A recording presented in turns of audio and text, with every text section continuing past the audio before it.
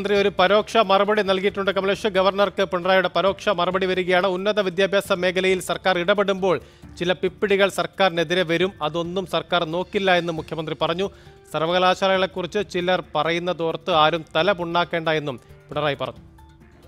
നമ്മുടെ പൊതുവിദ്യാഭ്യാസ രംഗം ഇപ്പോൾ ഏകദേശം കഴിഞ്ഞ അഞ്ച് വർഷം കൊണ്ട് നമുക്ക് റെയിലിൽ കയറ്റാനായിട്ടുണ്ട് യൂണിവേഴ്സിറ്റികളുടെ രീതികൾ മാറും.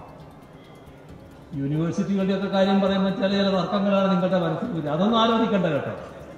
അതൊന്ന് അതൊന്നും ആലോചിച്ച് നമ്മൾ സമയം കളയേണ്ടതില്ല. നമുക്ക് നമ്മുടെ നാടാണ് വലുത്.